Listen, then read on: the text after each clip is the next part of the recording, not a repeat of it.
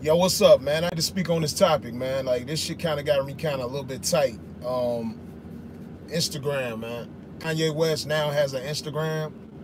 I'm glad that he does have an Instagram now because I know he's gonna be more vocal. The one thing I do like about Kanye West, a lot of people think Kanye West is crazy, but Kanye West is awoke. A lot of people are not awoke. Kanye is awoke.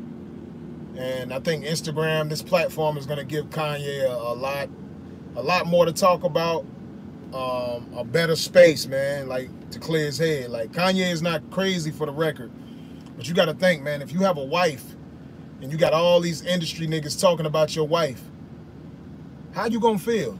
You know what I'm saying? I know, I know he's with Kim Kardashian. We know Kim Kardashian has a past. It's a lot of women out here that have a past. A lot of women did a lot of dumb shit when they was young that they regret. You know what I'm saying? You can't change your past like that.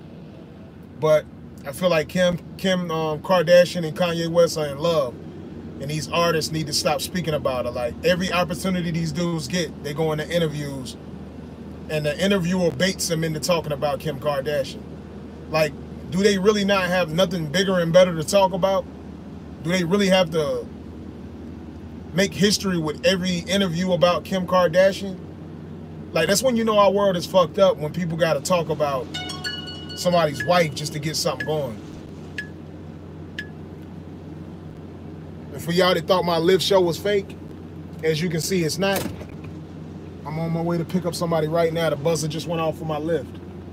Um, but yeah, man, like people got to stop talking about that man's wife.